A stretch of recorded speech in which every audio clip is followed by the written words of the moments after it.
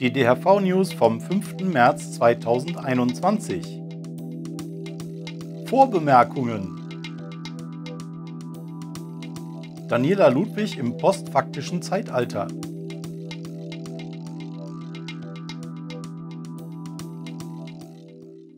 Herzlich willkommen bei den DHV News und vielen Dank für 180.000 Abonnenten auf diesem Kanal. Zunächst ein Haufen Vorbemerkungen. Die erste ist, wir haben wieder ein Video hochgeladen diese Woche, ein kleines extra Leckerchen für euch, aber auch für uns, weil wir da euer Feedback haben wollen. Und es geht um die Frage, wie Urinkontrollen im Straßenverkehr ablaufen. Da hat mir ja letzte Woche im Verkehrsausschuss eine Abgeordnete der SPD widersprochen und äh, dazu noch mal kurz einen Ausschnitt. Ich steuere dann auch noch ein paar eigene Erfahrungen bei als Polizeibeamtin, ähm, dass jemand eine Urinprobe in freier Wildbahn abgibt und jemand zusieht, halte ich für hochproblematisch und habe ich in Niedersachsen nie erlebt. Ja, die Frau Lühmann bringt also ihre eigenen Erfahrungen aus ihrer praktischen Berufserfahrung und Tätigkeit aber wenn man dann äh, auf ihr Profil im Bundestag schaut, die ist seit 2009 im Bundestag, also seit zwölf Jahren. In der Zeit wird sie wohl kaum irgendwelche Urinkontrollen äh, bei Verkehrsüberprüfungen gemacht haben. Trotzdem, vielleicht hat sie ja recht, sie hat sicher weiter Kontakt zu Polizisten, äh, die ein oder andere Erfahrung von vor dem Bundestagsmandat. Ähm, von daher, der Rest vom Video, den könnt ihr hier im Kanal finden, was ich zu der Sache gesagt habe. Und, und wir fragen alle, die selber schon mal so einen Schnelltest gemacht haben im Straßenverkehr, wie ist euch das ergangen? Ähm, seid ihr in irgendeine Toilette geführt worden oder musstet ihr irgendwo draußen pinkeln? Hat euch dabei jemand zugeschaut äh, im, im, im Teambereich und so weiter? Schaut das andere Video, kommentiert, wenn ihr schon mal die Situation hattet. Ja, ansonsten ist nichts passiert. Ja, diese Woche war ein ganz komischer Recherchetag. Äh, heute, ähm, da sucht man und sucht man, hat nur so lauter so halbgare Geschichten, man überlegt, so, hm, nehme ich das rein, nehme ich das nicht rein? So ein paar Beispiele hier zum Beispiel. Virginia habe ich schon mal erwähnt vor ein paar Wochen, wo ich gesagt habe, hm, wird heiß, wird bald soweit sein mit Legalisierung. Ja, jetzt haben wir da einen Beschluss in beiden Kammern äh, des Parlaments, Haus und Senat. Und ähm, Ganz merkwürdiger Beschluss. Es muss noch weitere Abstimmungen später geben, wo gar nicht sicher ist, ob die da überhaupt noch eine Mehrheit haben. Es soll erst 2024 äh, legalisiert werden und der Gouverneur hat noch nicht unterschrieben. Ja, voll der halbgare Quatsch irgendwie bringe ich hier nicht als extra Thema. Marokko, so ähnlich. Die Regierung von Marokko will ernsthaft äh, die Legalisierung angehen, zumindest von Cannabis als Medizin, inklusive Anbau durch Bauernkooperativen im Riffgebirge sehr schön. Ich habe schon vor 100 Jahren gesagt, sobald ein paar Länder auf der Welt legalisieren, wird ein traditionelles Anbauland wie Marokko aufspringen auf den Zug. Warum sollten sie nicht? Ähm, aber auch da noch nichts Konkretes, keine klaren Ergebnisse. Kommt irgendwann später nochmal, wenn da wirklich der Hammer gefallen ist. Genauso in Malta, auch da, Regierungschef hat sich für Legalisierung ausgesprochen.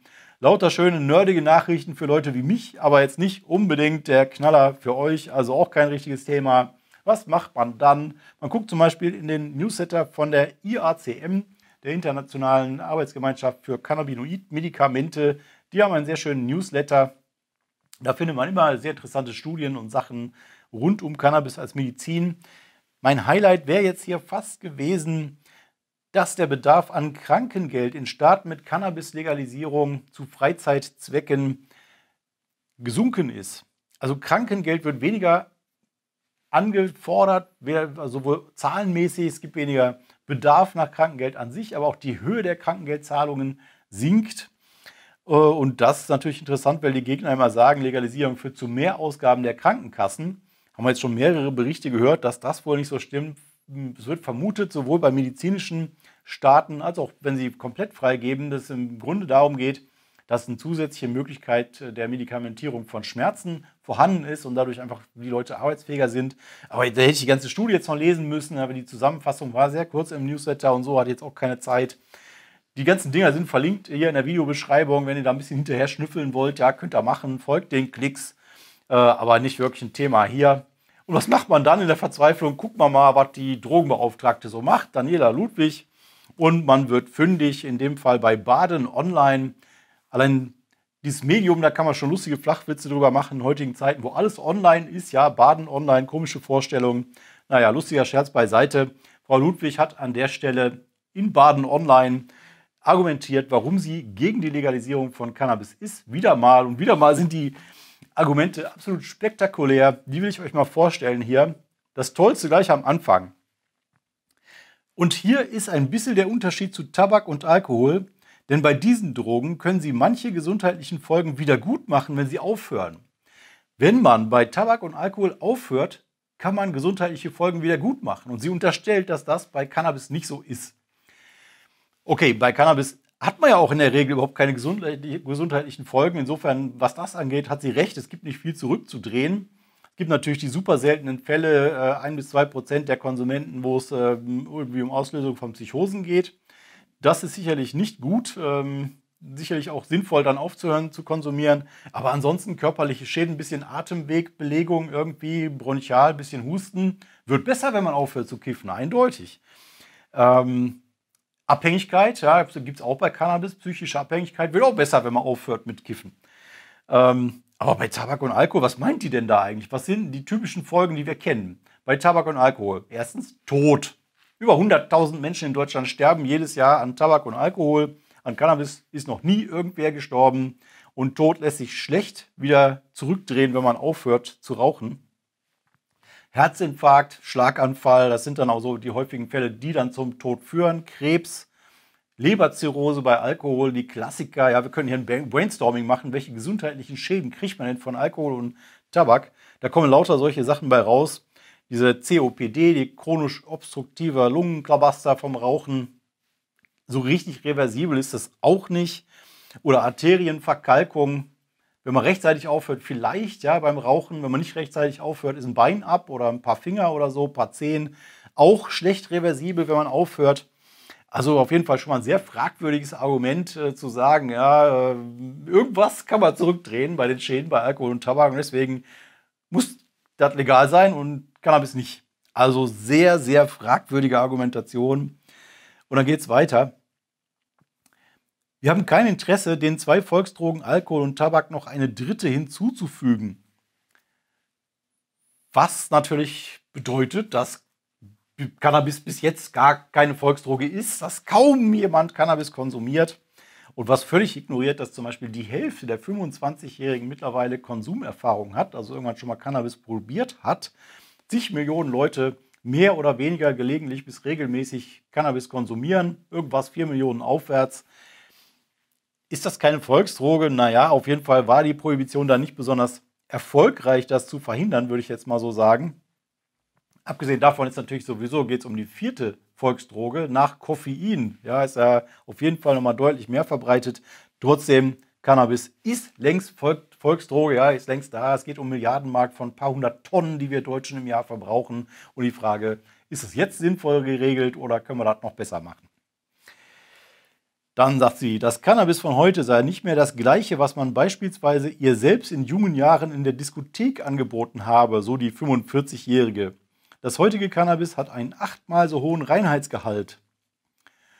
Okay, also mit dem Reinheitsgehalt ist natürlich schon mal Unsinn. Es geht immer, also fast immer um 100% Hanfblüte. Ja, ein bisschen Streckmittel ist hier und da drin, aber ich glaube nicht, dass sie das meint, sondern sie meint den hohen THC-Gehalt. Ähm, der ja an sich erstmal für, die, für viele jetzt nicht unbedingt ein Problem ist, sondern ein ähm, Qualitätsmerkmal. Die Leute rauchen einfach weniger davon. Ja? Frau Ludwig, weniger. Ja, ist wie bei Schnaps. Nicht aus Biergläsern Schnaps trinken. Nicht gut. So ist das auch bei Cannabis, das stark ist. Ist eher die Balance zwischen THC und CBD, die vielleicht ein Problem ist in der Wirkung. Aber das Problem ist ja auch, dass ähm, in der Illegalität durch das Verbot, durch den Schwarzmarkt, die Leute in die dunklen Keller getrieben worden sind, die Pflanze unter Lampen in optimierte Wachstumsbedingungen und jemand, der das illegal tut, natürlich pro Quadratmeter Versteck möglichst viel potente Wirkung rausholen will. In einem normalen Fachgeschäft hätte man mit Sicherheit die ganze Bandbreite an Auswahl von sehr starken Konzentraten bis hin zu sehr entspanntem Outdoor-Gras, vielleicht was Sonne gesehen hat. Also, wenn Frau Ludwig nochmal das entspannte Zeug von ihrer Zeit in den jungen Jahren aus der Diskothek nochmal haben will, ja, dann sollte sie legalisieren und dann in Fachgeschäft gehen und dann bekommt sie das da.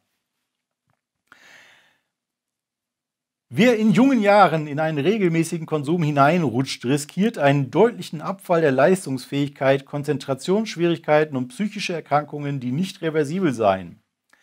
Nicht reversibel, wir wieder. Ja, mag sein. Ähm, und natürlich, äh, konsumieren in jungen Jahren ist nicht gut viel konsumieren in jungen Jahren, früh anfangen, alles schlecht, sind wir uns alle einig. Passiert aber trotzdem, ist bei Alkohol auch so, ja, äh, mit 13 anfangen, Alkohol zu trinken oder mit 15 ist auch nicht gesund, passiert trotzdem, müssen wir irgendwie äh, mit umgehen äh, und irgendwie dafür sorgen, dass es später ist. Aber das tut das Verbot nicht. Es gibt keinen Hinweis darauf, dass das Verbot irgendwelche Jugendlichen vom Konsum abhält.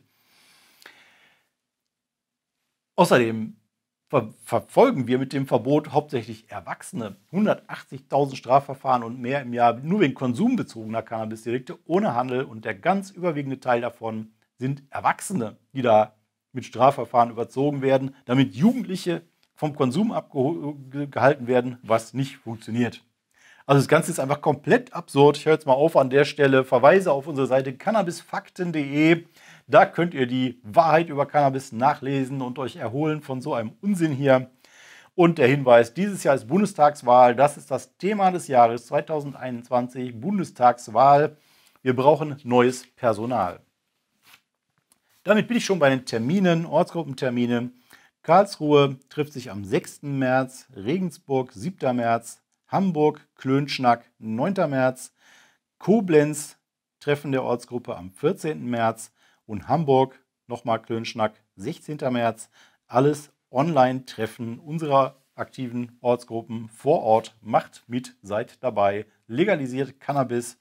Und jetzt, weil wir so früh fertig sind, guckt euch noch ein paar andere DHV-Videos an. Wir haben ja ein paar geliefert in letzter Zeit. Oder fangt nochmal bei DHV News 1 an, arbeitet euch durch. Wie auch immer, abonniert den Kanal, drückt die Glocke, liked dieses Video und ich wünsche euch noch einen schönen Tag und einen geruhsamen Abend.